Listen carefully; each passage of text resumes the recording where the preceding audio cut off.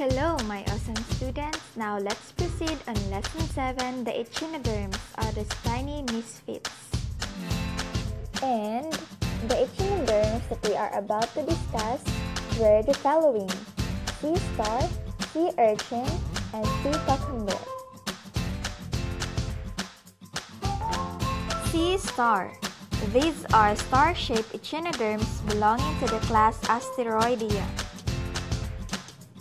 Common usage frequently finds these names being also applied to ophiuroids, which are correctly referred to as the brittle stars or the basket stars. Then, there are about 1,500 species of starfish who in the seabed in all the world's oceans, from the tropics to the frigid polar waters. Got it, students? Starfish are marine invertebrates. They typically have central disc and five arms, though some species have larger number of arms. The aboral or the upper surface may be smooth, granular, or spiny, and is covered with overlapping plates.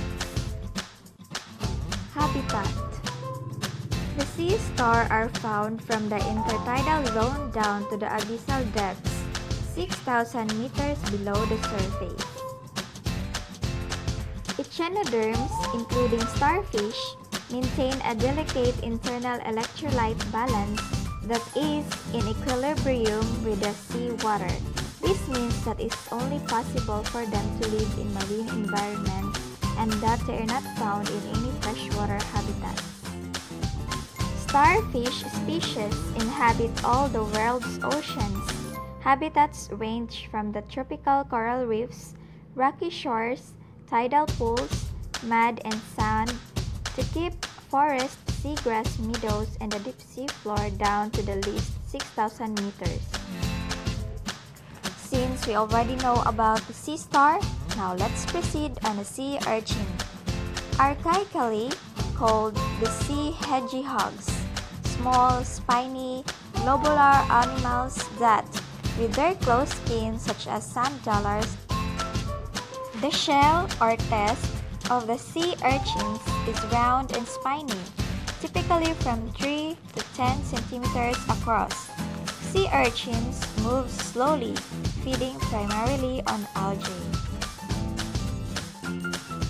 Sea urchin habitat Sea urchin have conquered most sea habitats on an extremely wide range of depths.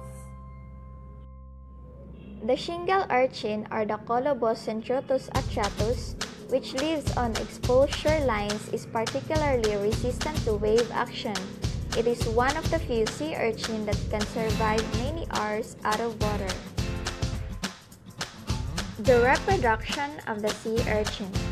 In most cases, the female's eggs float freely in the sea, but some species hold onto them with their spines affording them a greater degree of protection. Now, let's proceed to the sea cucumber, echinoderms from the class Holothuroidea. They are marine animals with a leathery skin and an elongated body containing a single branch gonad. Where does sea cucumbers can be found? So, sea cucumbers can be found in great numbers on the deep sea floor, where they often make up with the majority of the animal biomass. Reproduction of the sea cucumber. Most sea cucumbers reproduce by releasing sperm and ova into the ocean water. And that ends our lesson 7, the echinoderms. Bye guys, thanks for watching. Created using Powtoon.